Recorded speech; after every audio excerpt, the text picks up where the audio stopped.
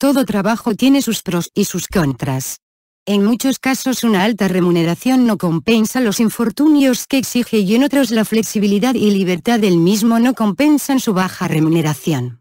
Las posiciones de fama farándula en general se ven muy vinculados con el suicidio o muerte accidental, como le llaman a veces, pero en general es complejo y difícil de encontrar datos sobre suicidio laboral.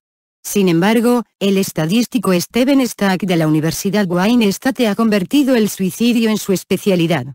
Recopilando la información de su extensa colección de trabajos científicos se puede generar una lista de los 13 trabajos potencialmente más propensos al suicidio. Es decir, por sobre la tasa promedio. Trabajo suicidarse foto, Internet es importante notar que no se está estratificando por factores demográficos y en su mayoría estamos hablando de datos en los Estados Unidos.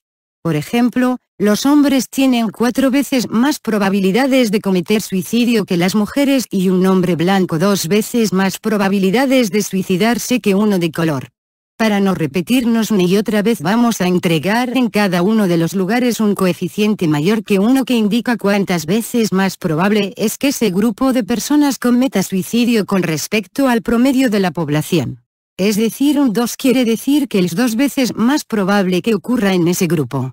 Según estudios, en 1990 tenemos, en el lugar número 13 al obrero semicalificado o no calificado con un coeficiente de 1.46 en obrero calificado y el operador de maquinaria suben al lugar número 12 con un valor de 1.63. Los científicos y matemáticos en particular estamos en el lugar 11 con un coeficiente de 1.85.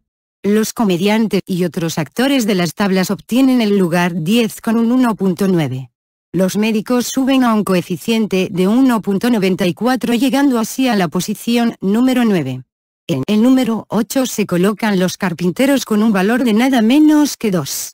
Los pintores, escultores y artistas obtienen el lugar número 7 con un coeficiente de 2.12.